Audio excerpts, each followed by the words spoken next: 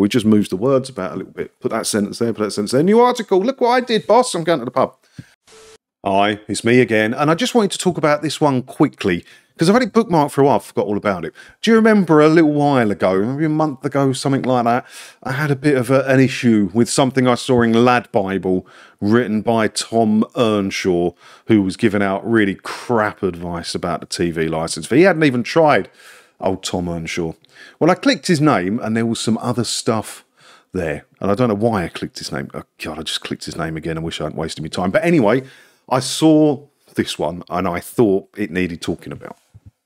Martin Lewis's expert advice on when you actually need a TV license.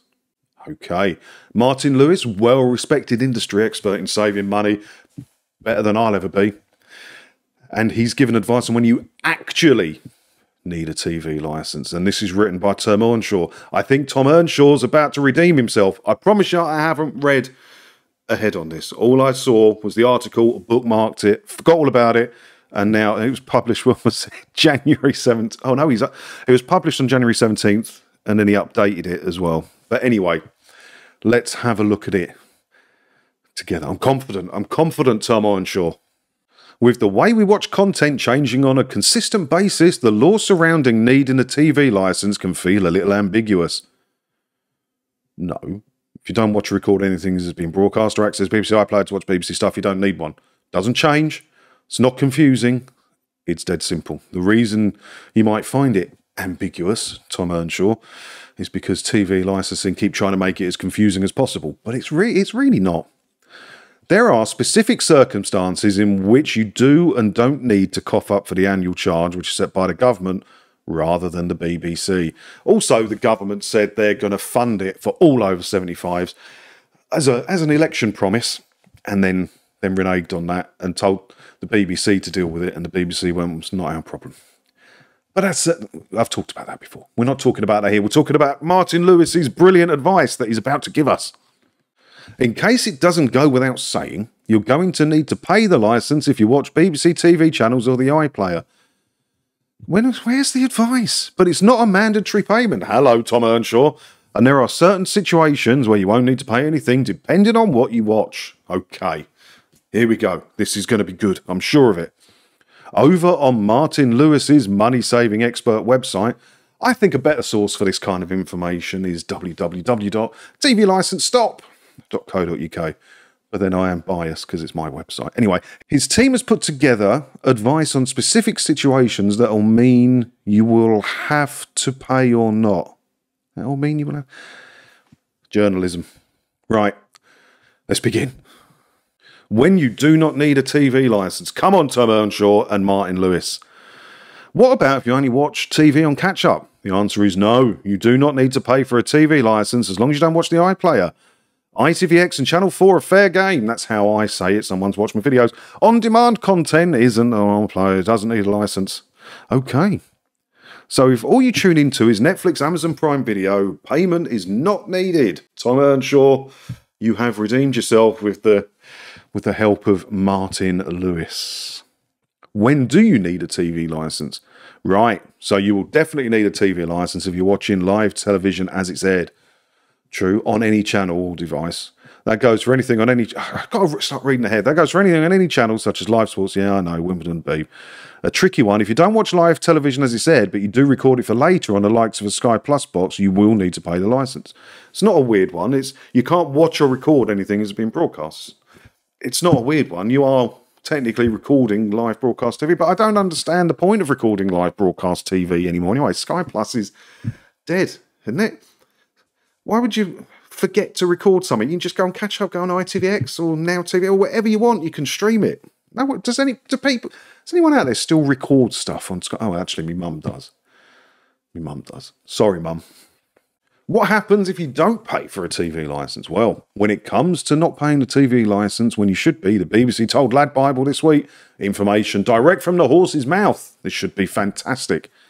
So the BBC told Lad Bible this week how it really does try and do everything it can to come to some kind of solution before pursuing the matter in the courts. Okay, maybe do some journalism here Tom Earnshaw because didn't we read about or hear about recently the people with some disabilities and some mental health disorders who were doorstepped by one of the goons because their license had expired and sold a license at the doorstep and yet still taken to court because that was in the public interest to do, even though there were mitigating circumstances like that person wasn't in charge of their own finances at the time because of their mental health. No, they got sold a license on the doorstep and still taken to court. And that's not a one off. There are many of these now. Maybe, maybe have a little look at that one. Maybe have a little look at that one. Tom Earnshaw, rather than just believing what TV licensing tell you. TV licensing who are in the business of selling TV licenses. So, mate, yeah, have a look at that, Tom. A TV licensing spokesperson told Lad, a TV license provides cover for anyone watching and recording a TV program. Yeah, it does, that's correct. Information is available on a TV licensing website. It's not clear and concise information. It's not telling you fibs per se, but they're trying to make it as confusing as possible because the more confused you are, the more you're like, I can't be asked to learn about it. It's not worth the risk. It's £169.50. We'll just bloody pay it, shall we? That's what they try and do. TV licensing's primary aim is to help people stay licensed and avoid prosecution, which is always a lot. It's not always a last resort. You love it. You love it. And you love getting your PR agencies to get newspapers, especially local newspapers, to print the names of people in their local community who have been prosecuted for TV license offences because that helps sell more licenses. You can't be sent to prison for not paying your TV licence, but you can be fined up to £1,000. This can be up to £2,000 if you're one of the few people who live on the island of Guernsey. Lucky I don't live on Guernsey then. But also, the one, uh, uh, the £1,000 they keep threatening it. I've never once heard of it being given out. I look at all the court cases that are published, I look at it all. The average fine is about 140, 150 quid at the minute. It's not a thousand pounds. It is not. And you can't be sent to prison for not paying your TV license. Technically correct, right? But if you go to court and you get the fine for not paying your TV license fee and you flat refuse to pay the fine, contempt of court, and you can get a custodial sentence for that. The only way you got that custodial sentence was not paying the fine for a TV license offence. So mm, you can go to prison for not paying your TV license fee. How to cancel your TV license? No, I'm, not, I'm, I'm done with you. I'm done with you, Tom Earnshaw. Oh, he's got another one. Look, March 26th. How can you avoid the TV license price rise? Is just one week away. Oh, God. Hang on. I'm, I'm going to have a look, see if there's anything in here that's pissing me off as well. No, there was nothing in there of interest. So that was the third TV license article that I've read from Tom Earnshaw at Lad Bible. And Tom, I'm sure you're a lovely bloke, mate.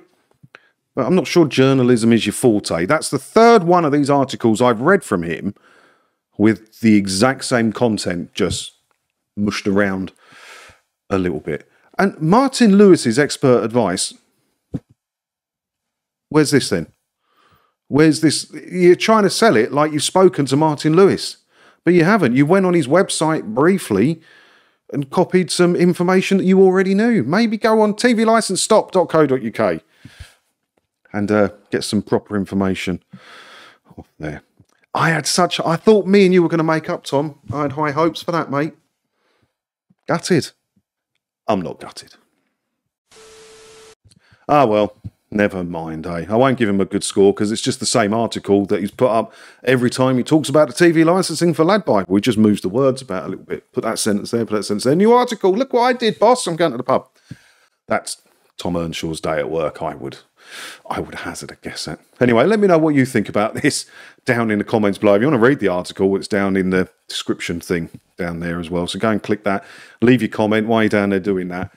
Hit all the buttons and everything as well. If you do that, hopefully I'll see you in another video again soon, won't I? Ta-da.